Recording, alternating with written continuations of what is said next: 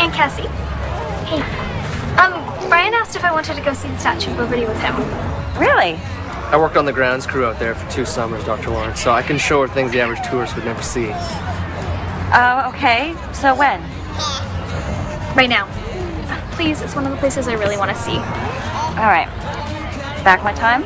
Uh, midnight? 10.30. 11. All right, 11. Have a good time. Thanks. Thanks. Bye, guys. Okay. Were they that hot when we were in school? As I recall, they were.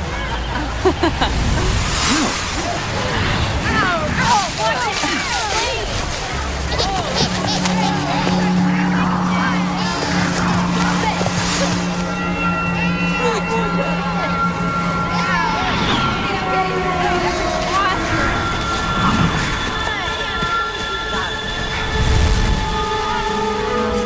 believe this?